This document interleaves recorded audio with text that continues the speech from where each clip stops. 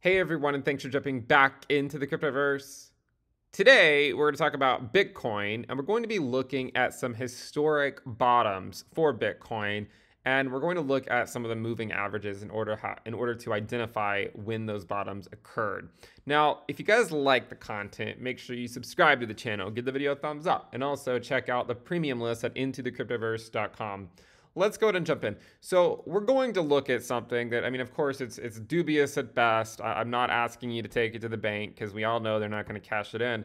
But one of the things we can do is first, let's look at the price of Bitcoin and recognize there's a lot of noise here. Okay, so we're gonna we're gonna get rid of the noise. All right, so we have we have a nice a nice blank screen.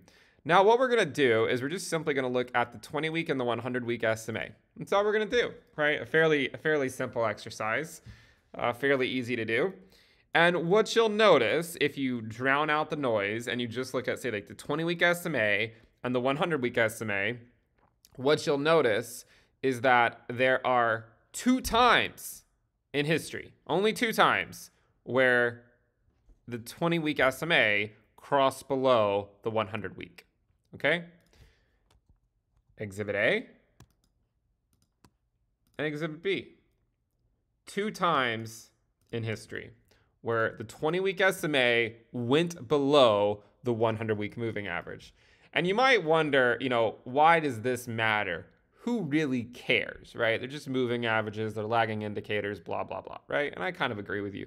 But let us look to see was there any significance to the crossing of these two moving averages? Perhaps we'll add in our noise. Hmm.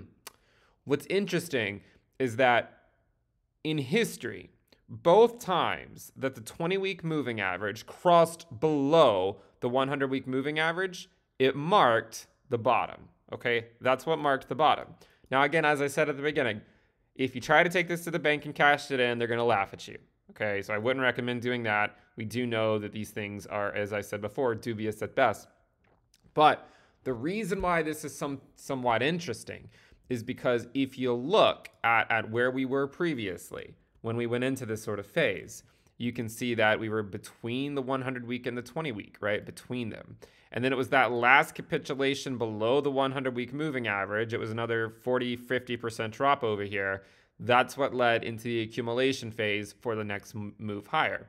In the same manner, this move here, you can see that also marked the bottom right? Before the accumulation phase for the next move higher.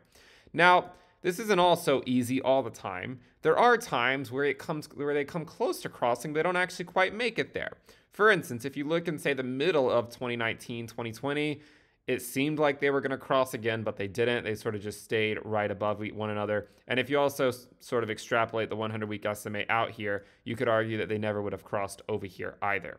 Okay, so certainly they do not always cross. What we are saying is historically, whenever they have crossed, it ended up marking the bottom. Why is this important? Does anyone really care?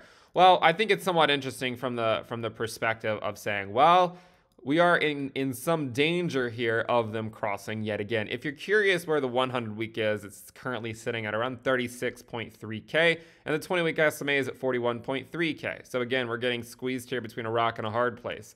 And so the question is, is will the 20 week cross below the 100 week?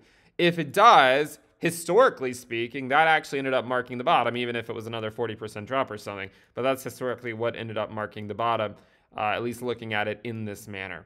Now, are they going to cross anytime soon? Well, not in May, right? Not more than likely not going to happen in May. Uh, it's probably going to be a little a little bit of time here before they actually cross. If we were to extrapolate out their current trends, which is probably not a good thing to do, and I'm going to show you why in a minute. If you extrapolate out extrapolate out their current trend, and say, let's suppose that they keep moving at the same rate they are, then it would have them crossing in late June or maybe early July.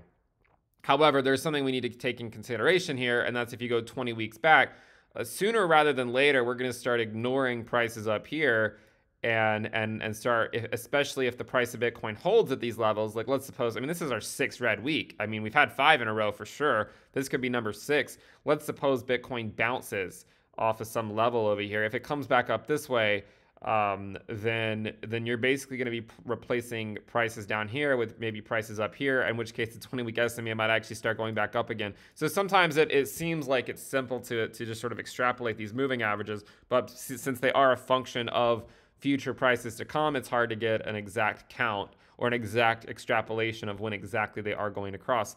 If the price of Bitcoin continues down, in the short term, and we do get that lower low that we've talked about in the past. One of the things I've mentioned before to be on the lookout for uh, when looking at say the daily the, the daily time frame especially, but I'll just draw it on the weekly is Bitcoin putting in these higher lows, and then if the floor falls out, we know that we know that all Bitcoin valuations can, can take a pretty big hit. And so we're sort of we're sort of looking at, at something similar now. Is if if we fall below these levels, we know that all Bitcoin valuations can take a pretty big hit fairly quickly. Okay, so you need to keep that in mind, and maybe I'll draw that out a little bit more clearly on the daily time frame here in a minute. But when looking at this, we do know historically speaking the cross of the 20 week SMA and the 100 week SMA did historically mark bottoms. This was December of 2018. And then in um, uh, D- January of, of 2015, and that was more or less the bottom for both of those for both of those moves. Now, the other thing I, I wanted to mention here when looking at this chart is to go back to the daily time frame and and talk about the fact that the Bitcoin was rejected off the 200 day in the same manner that it was in 2018. Look, I'm not here to say things have to play out the same way, but we're also not going to sit here and not look at, at somewhat obvious comparisons between these two moves. And so I, I do think it's important to follow this. The, the main reason, so I need to look at the 200 day, that's the 100 day.